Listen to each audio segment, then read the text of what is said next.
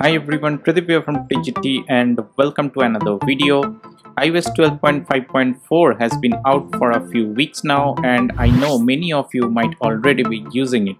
But if you have not heard about this update yet and you have an iPhone 5s, iPhone 6 or 6 Plus, first gen iPad Air, iPad mini 2 or iPad mini 3 or iPod Touch 6th generation, you should update your device right now. This is my iPhone 6 which I always use to demonstrate these kind of videos to you guys.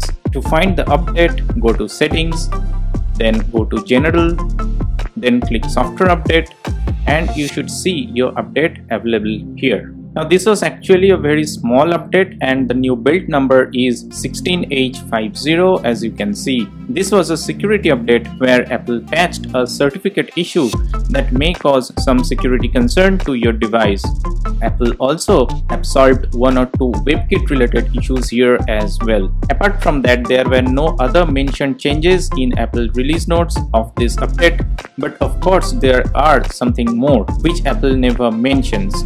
One of those is about the performance of the device. In some previous security updates like this, such as iOS 12.5.2 or iOS 12.5.3, many of you complained about app crashes, unable to update issues, stability issues, etc. In fact, iOS 12.5.3 was not a good experience for many of you. So I made a separate troubleshooting video to help you guys the best I could. But I am happy to say that this update that is the iOS 12.5.4 is much better on those regards. In fact, I have seen comments that this update has made my iPhone 6 run smoother. So it's overall good experience again to use the old iPhone 6. So let's check some day-to-day -day apps and how the performance is overall. Let's try YouTube Studio first. As you can see, it takes a bit of time to load, but it is okay for a device this old. Then let's try YouTube itself. It also takes a bit to load, but once loaded, it runs smooth without any hiccups. Let's go to my channel and play a video this is working absolutely fine. Let's open App Store and it opens a bit faster than the previous two. Now here is Instagram. It works fine enough as you can see. Let's try Twitter.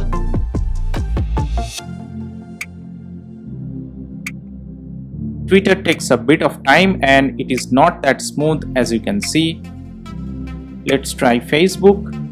Facebook should take some time and there might be some lags at the beginning as this is a pretty heavy app. But once it loads, it works fine. Now Netflix.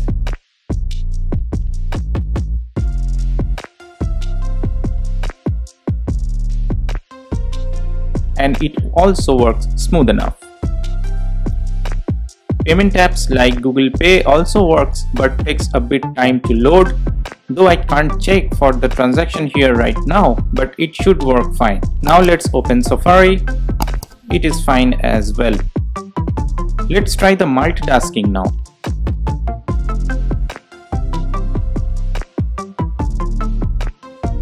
As you can see some of the apps stays open and some of them reloads of course, you should remember iPhone 6 has only 1 GB of RAM. So the overall app performance is satisfactory I should say with this update. The overall stability in settings menu is also good.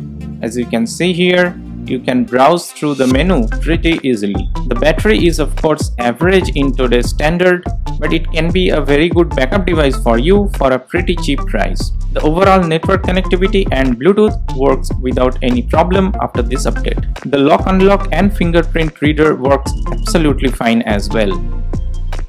Now here are the Geekbench 5 scores for this device. It's 327 for single core and 614 for the multi-core. So that's it for today's video.